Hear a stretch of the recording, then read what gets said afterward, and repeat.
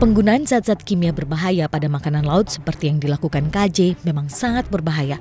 Jelas saja, KJ menambahkan pewarna dan pemutih pakaian pada makanan laut yang hampir busuk, sedangkan kedua zat tersebut bukanlah zat yang dapat dikonsumsi oleh tubuh. Misalnya saja klorin. Zat pemutih pakaian yang dipakai KJ pada cumi diklarifikasikan sebagai zat berbahaya. Efeknya bila dikonsumsi akan merusak sistem pernafasan, merusak sel darah, dan efek lainnya yang membahayakan tubuh. Cumi memang salah satu makanan laut yang tidak tahan lama serta mudah busuk jika disimpan dalam suhu kamar. Inilah yang menjadi alasan bagi pedagang nakal untuk membubuhkan beberapa bahan kimia berbahaya untuk mengawetkan cumi. Sedangkan untuk zat pewarna tekstil yang digunakan pada kerang mengandung unsur rodamin B. Rodamin biasanya kan dipakai untuk untuk tekstil, pewarna tekstil, untuk pewarna pakaian, ya, kosmetik seperti itu. Cuma memang banyak salah gunakan jadi pewarna makanan karena harganya mungkin yang relatif lebih murah. Gitu. Bahayanya memang terutama yang kita tahu ya kanker. Kanker itu kalau rodamin itu bisa ke mana aja, bisa ke ginjal, bisa ke paru, bisa ke jantung. Bahayanya menyebar ke mana-mana itu. Kalau rodamin. Kalau itu sendiri sebenarnya itu seperti saat pemutih. Jadi biasanya di kertas, di pembalut wanita atau di di bag di teh teh celup itu biasanya suka ada situ ya. Itu bahayanya memang terutama kalau klorin itu ke hati. Memang kalau gejala jangka pendek sih belum terlalu kelihatan ya. Kalau untuk jangka panjangnya ya tergantung memang organ yang terkena. Biasanya ya kanker ya biasa daya tahan tubuh mungkin turun bikin kurus orangnya Ciri makanan yang mengandung zat pewarna tekstil ini biasanya warnanya mengkilap Lihatlah perbedaan kerang asli dan kerang yang sudah diberi warna. Kerang yang tak diberi warna terlihat pucat, sedangkan kerang yang sudah berpewarna terlihat lebih menarik, namun tentu berbahaya. Kalau kayak rodamin gitu kan eh, merahnya tuh lebih terang gitu ya dibandingin itu. Ya itu hati-hatilah kalau kalau kalau lihat warnanya udah beda deh seperti warna alami itu. Terus uh, mungkin kalau kita memang kita pegang itu kenyalannya memang beda kalau misalnya biasa kalau di kerang-kerang itu ya. Dia lebih lebih apa ya lebih kenyalannya lebih keras gitu kalau kita pegang. Kalau rodamin biasanya memang suka banyak dipakai di uh, kerang kerang kerang ya, seafood gitu kan. Ikan-ikan juga suka dipakai untuk rodamin.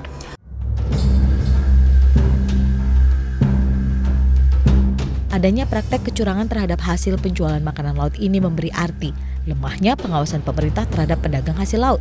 Namun karena kelihayan oknum nakal, praktek ini kerap terjadi. Meski makanan laut busuk banyak beredar di pasaran, bukan berarti kita menghindar dari keuntungan memakan makanan laut. Maka bagi Anda spesial pecinta kuliner makanan laut, wajib memahami pemilihan, pengolahan, dan cara mengonsumsinya. Kesehatan sangat mahal harganya. Itu sebabnya sebagai konsumen kita harus jeli dalam memilih makanan yang akan kita konsumsi ada sejumlah tips yang bisa kami berikan kepada Anda. Sebelum membeli, pelajari dulu cara memilih makanan laut dengan benar agar makanan sehat ini tidak menjadi bumerang yang justru membahayakan kesehatan. Belilah di tempat yang terpercaya. Penjual yang paham akan menyimpan makanan laut di suhu dingin antara 0 hingga 80 derajat Celcius. Periksa kualitas dan kebersihannya. Makanan laut yang segar akan terlihat bersih dan bebas dari serangga. Untuk ikan dan cumi yang baik, biasanya tidak mengeluarkan bau yang tajam.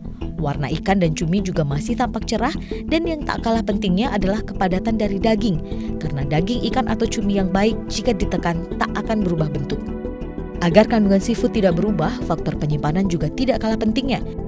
Untuk cumi dan kerang sebaiknya dibersihkan terlebih dahulu untuk membersihkan kotoran sebelum ditempatkan di lemari pendingin. Jika sudah melebihi 2 hingga 3 hari, rendam di air panas kemudian simpan kembali di lemari pendingin. Nah, untuk cumi sendiri dia harus dibersihkan benar-benar bersih. Pastiin cumi itu bersih, setelah itu disimpan di dalam freezer. Untuk kerang sendiri lebih bagus lagi kerang itu direbus setengah matang. Setelah direbus setengah matang, didinginkan, setelah itu masukin ke freezer juga. Itu untuk penyimpanan lebih lama dan nggak akan rusak. Itu sebenarnya kalau penyimpanannya dengan baik dan benar seperti yang saya sebutkan itu bisa bertahan 1 sampai 2 bulan. Untuk kerang sendiri nggak lama karena kerang sendiri beda dengan cumi.